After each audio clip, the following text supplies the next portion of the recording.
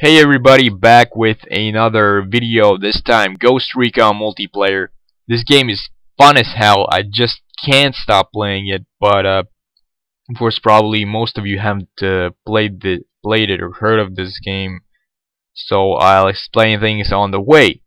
But so, we're playing a multiplayer one versus one with AI, Artificial Intelligence, aka, I guess you could call them bots, but uh, they're really, really smart ones.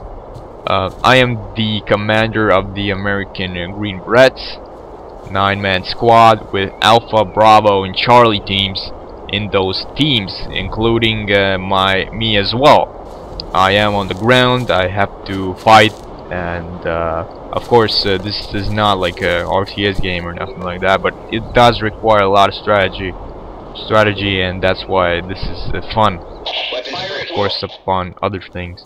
Uh, but so my opponent uh, is the same, a commander, but only uh, he commands and controls and is a part of the Russian Spetsnaz. So real quick, uh, we're playing domination on the map Wilderness. Here I'm giving orders to my team to spread out. You never want to have all your team, uh, your three-man teams together because the enemy can take them out so easily with a grenade. Uh, and I forgot to mention this uh, this is a recording. You can uh, view the recordings of every game in Ghost Recon that you play. So I'm switching and looking at my teammates and later on on the enemy team as well thanks to the uh, game recording features. Uh, so this is this is like uh, for instance the huge zoom in. You can't do that in the game itself. Uh, but so here, uh, my team just killed an enemy. The uh, enemies and uh, killed enemies show up on the map uh, as red, uh, sort of red dots. they show up if you killed them, or if your teammates have spotted one of them. so you have to check your map or mini map quite regularly. In this game there's a lot of strategical thinking going on because if you get shot you die one bullet one kill. Sometimes when you get hit in a leg or something then you're wounded but most of the times one shot one kill. So there's a lot of hiding in the bushes scouting the area. Right now I think the enemy is hiding behind the uh, wooden structure in the middle of the map so I'm just firing here and there waiting if he fires back uh, so I know for sure.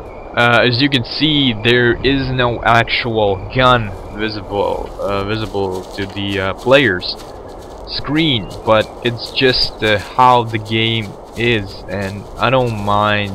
I couldn't care less really.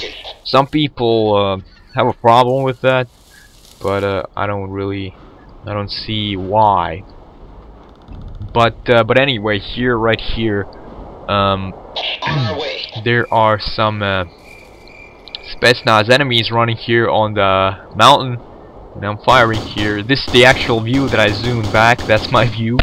So right here, we're zoomed in. Uh, I got, I think I got one of them, and one of my uh, teams stationed around there got another one of them so we got just I think we got like two of them uh, but I'm just like firing here trying to hit the uh, trying to hit the if anyone survived I'm trying to hit that guy so. And uh, some of somehow they killed one of my my teammates as well. Uh, bad positioning from my part. Uh, these AIs are really uh, good. You just need to position them right for them to be effective enough to kill the enemy. I, I just lost three men.